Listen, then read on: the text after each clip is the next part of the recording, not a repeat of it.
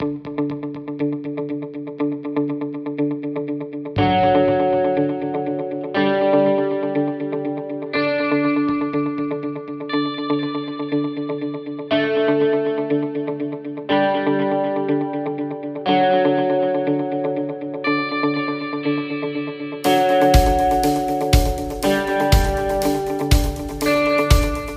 Bhaichung Bhutia Football Residential Academy, we have taken all precaution to ensure safety of all our coaches, players, staff in the campus.